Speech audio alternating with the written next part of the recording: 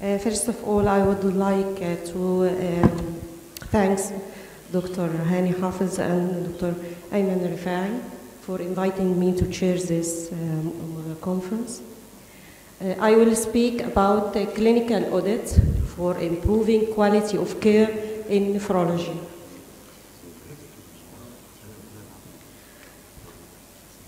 We cannot uh, deny that there is a medical malpractice. Many patients lost their lives or live with disability because someone was too tired or too careless. What is the problem? The problem starts when a Florida jury awarded Alan Navarro two- uh, 260.7 million after he was left brain damaged and confined to wheelchair after doctors misdiagnosed stroke symptoms. In August 2000, Navarro went to emergency room after having symptoms indicative of stroke. Despite telling, telling nurses his family had a history of stroke, the doctors diagnosed him with sinusitis and gave him a prescription of painkiller. The next day, Navarro had to undergo surgery to relieve swelling in his brain, and he spent nearly three months in coma. As a result, Navarro has a limited cognitive abilities and he is at risk of suffocating every time he swallows food due to the damage. What is audit? My agenda, where I will talk about story, what is the definitions and the aim of clinical audits, the principle of these clinical audits, and I will referring to audit cycle, what is the criteria of effective clinical audit, and I will ask about is clinical audit can be like a research or not, what is the application of clinical audits in our field and its future prospective issues, and finally I have a take message, home message. The first recorded medical audit in Muslim world started by when Al Khalifa Abbasi al Muqtadir was told that there is a malpractice in one patient by an Abu Batih al Muhtasib, which who is a market inspector. Then the Al Khalifa al Abbas al Muqtadir asked Sinan ibn Thabit, who is a chief physician of Baghdad, to investigate uh, about this problem. Following the investigation, the first, the first medical licensing examination has been introduced, and according to book by Ibn al-Ukhwa, which named by Ma'alim al-Qurba fi Ahkam al-Hisba, which stated the first license in our medicine stated that if the patient is cured, the physician is paid. So, what is clinical auditing? Audit is a Latin word transferred to the English vocabulary audit, which means an official inspection of an organization accounts typically by an independent body. It is a part of a continuous quality improvement process and consisting in measuring a clinical outcome or a process against well-defined standards established using the principle of evidence-based medicine. According to NICE, uh, audit means a quality of improvement process that seeks to improve patient care and outcomes through a systematic review of care against explicit criteria and implementation change to improve our practice. Is there a difference between clinical audits and medical audits? Yes. Medical audits is a review of a clinical care of patients given by medical staff, while clinical audit is a review of all medical activities performed by medical and paramedical staff. The clinical audit, the aim of the clinical audit is to highlight the discrepancies between actual practice and the standard in order to identify the change needed to improve quality of care. To reach the, our goal or benefit of clinical audit, we must have improve the delivery of the health care and highlight deficiencies to highlight good practices to patient and staff, promote change, ensure standards exist as well as raises them, reinforce evidence-based medicine practice, improves our teamwork, and can deliver individually or collectively as a group of health professionals. There are fundamental differences between a research and clinical audit. Research is a project focusing on discovering new information and exploring the best ways to do things. So the research asks, what is the right thing to do and what is the best way, way to do it? While clinical audits evaluate how well current best practice is being carried out. And the audits ask, are we are doing the right thing and are we doing it in the best way? As regard the aim, we, we show how close is the current practice to best practice with improving healthcare service and clinical audits can be carried by members of multidisciplinary team on practice-based ongoing process but never involves an experimental treatment or placebo. However, research aimed to what is the best practice to improve our knowledge and car carried out by specific researchers in theory-driven on-off projects may involve an experimental treatment or placebo. The types we know of clinical audits includes national clinical audits and local clinical audits, peer review, critical incident monitoring, patient experience survey, non-audit or quasi-audit activities, including a research, service evaluation, patient outcomes program, patient satisfaction inquiries, and formal investigations. The principle of the audit, clinical audit, uh, involve four steps. The first step is preparing for audits. The second, we can select an indicators and assess the criteria and the standard and define a definitions for intervention strategies. The step three is a data collection Four is a comparison of these data with the standard and develop a corrective of corrective actions. How can prepare the audit? Good preparation is crucial for the success of that audit project. The key elements are choosing the topic, defining a clear purpose, and providing the necessary organization in terms of the audit staff and resources. We must to differentiate between the editor and criterion and what is the standard we can use. Editor is a variable that allows us to describe complex phenomena to measure the changes in relation to defined criteria. It can be expressed as an absolute number, percentage rate, or average, while a criterion is a definable or measurable aspect of health care that describe its quality. In clinical audit, it is a declaration of what should happen on the basis of good practice and it should be evidence-based.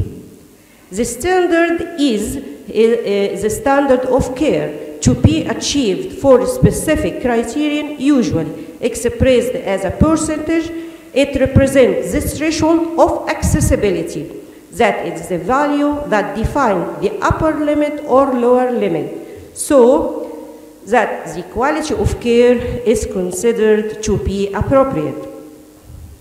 The third step is a data collection, and the medical record is the main source of information, but it is often incomplete in this regard highlight the uh, inadequacies of data management already in the preliminary phase of data collection, the audit improves the existing information flow. Last step is how to compare this collected data with the standard and the development of corrective action. It is important to note that critical nature of this moment lies in the fact that the professionals involved in the audit process can interpret the audit as an inspection of their clinical activity, thus becoming unconsciously an obstacle to an effective data analysis. So, we first of all chose the topic and assess the reason for their audit with good data collection, data analysis, we can, with implementation changes and re-evaluate the review according to standard and try to change the standard to get a clear and uh, non-costly evidence-based uh, results. This is an audit cycle. So, the criteria of effective clinical audit is the problem to be audited has an important impact in the form of cost, resource, or risk. And there, are, there is some strong scientific evidence base according to guidelines and systematic review. The improvement made on the subject in questions can be easily evaluated and source of important uh, clinical and organizational consequences. Measure an outcome or a process against well-defined standard set on the principle of evidence-based medicine in order to identify the changes needed to improve the quality of care. Contents include what is the story or background, literature review, the criteria and the standard as we said before, what is the methods and protocol will be put on, review our results after data collection and analysis, recommendation for changes, or recommendation for further audits. There are several factors that facilitate and barriers uh, for effective clinical audits.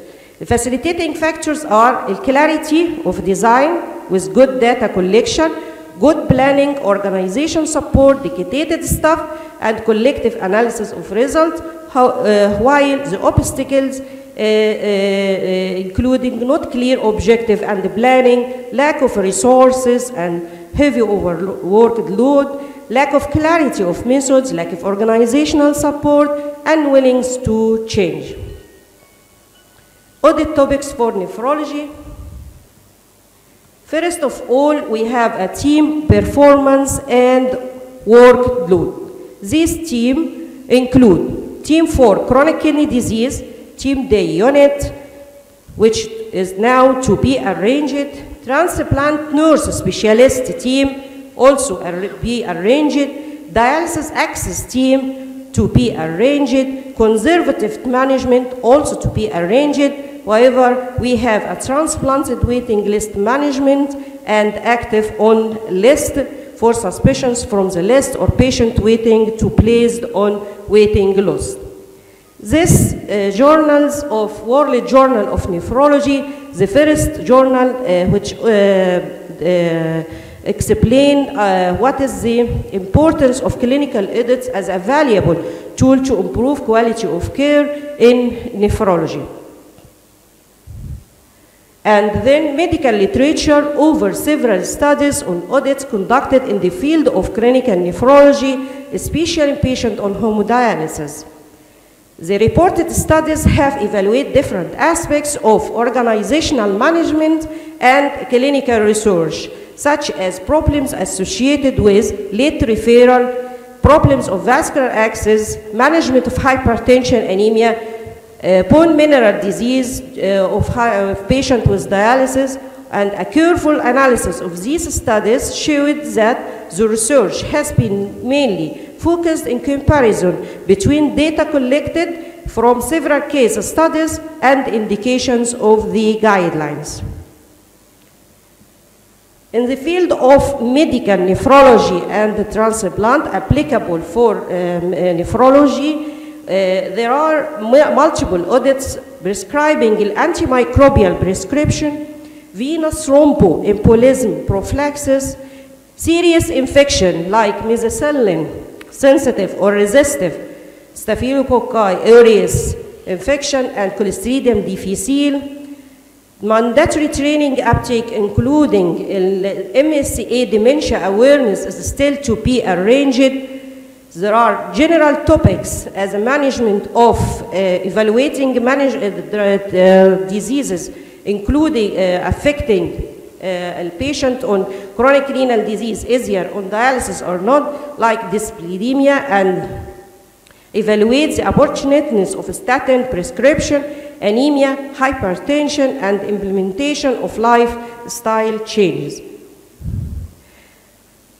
The example of well audit, conducted audit uh, done by Australian group at 2015 uh, aimed to, uh, to assess the effect of multidisciplinary intervention on choose of dialysis vascular access, aiming at reducing the use of central venous catheter. Basing on the difficulties identified, the audit team developed a specific interventional strategies like promotion of educational skill, facilitating access to operating room, direct nursing involvement, and etc. And after one year of this uh, uh, study, they assess, they reported that there is a significant increase in number of patients starting dialysis with arteriovenous fistula. Another study done uh, on 177 uh, adult prevalent uh, hemodialysis patient, the intervention regarding the data on factors affecting blood pressure and antihypertensive uh, drugs regimen.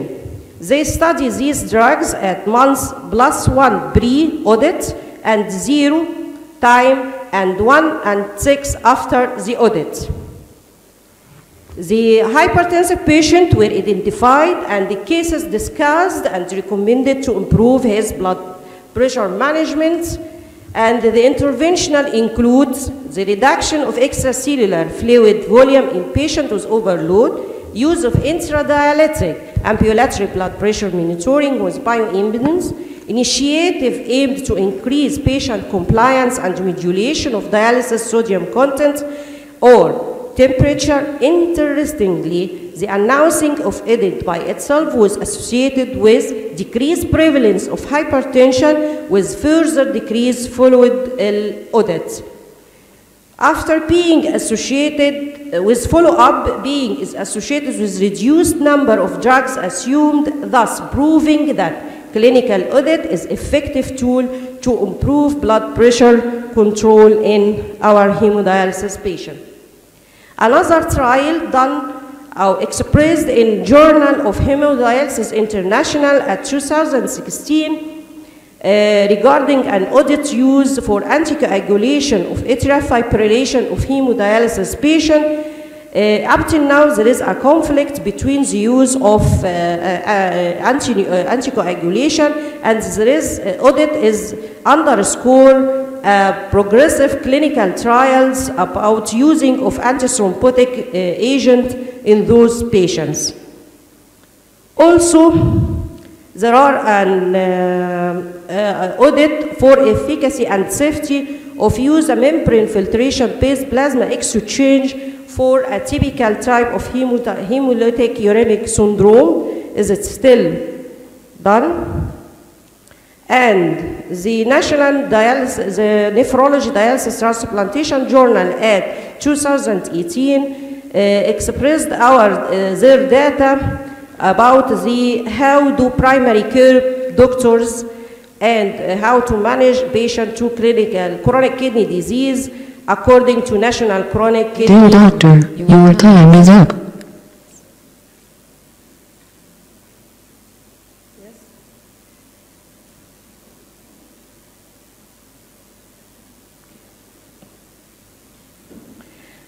In core of nursing and other disciplines applicable for nephrology and transplant, uh, regarding a hand hygiene, nutritional assessment, commode cleaning, environmental cleaning, thromboembolic assessment, medicine, note keeping and documentation, it will document it for audit uh, cycle. Also, in dialysis uh, part, there are a national renal registry report and treatment for anemia, chronic kidney disease, metabolic bone disease, vascular access for hemodialysis, and uh, vasculitis treatment. It, uh, up till now, it is still uh, to be arranged for central venous catheter uh, audits. In a chapter of transplantation also, there are an annual report, there are an audit for live life donor program, ABO and HLA transplantation, acute rejections with its follow-up and treatment. Uh, there are an audit for post-diabetes, uh, post-transplantation diabetes and bone mineral disease, and uh, uh, arranged for uh, uh, CMV prophylaxis and treatment. And there are the, the protocol for immunosuppression had been finalized. However, there are topics should be considered for regular topics up to now not, not subjected to audit, like mortality and morbidity review. Mortality and morbidity review for individual dialysis, dialysis unit in new transplant case review for serious infections and incidents, mortality of all patients or renal replacement therapy, and the recording a cause of death. Dear doctor, your time is up.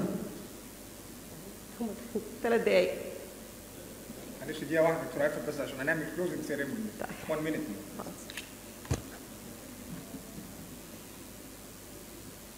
Dear doctor, your time is up. And in the era of acute renal disease is still to be arranged and there is a overlap with audits. Uh, home messages, a clinical audit allows to be effectively comparing the theoretical standard with daily clinical practice, providing suggestions to improve quality of care, understanding of clinical audit, and promoting its systematic application, which nationally or locally is becoming central part of expertise of each health uh, uh, care providing. Audit methodology could be potentially extended to several issues in the setting of clinical nephrology and and transplantation. This is a JCI uh, for hospitals, and this is Egyptian Hospital Aggregation Program standard uh, uh, since 2005. And our recommendation to be there is an internal clinical audit which hired in every healthcare facility with clear job description, and it is necessary to have an external audit hired by Ministry of Health should revise and mentor the actions of internal audits and help improvement on correction uh, and corrective actions which, as, which are suggested.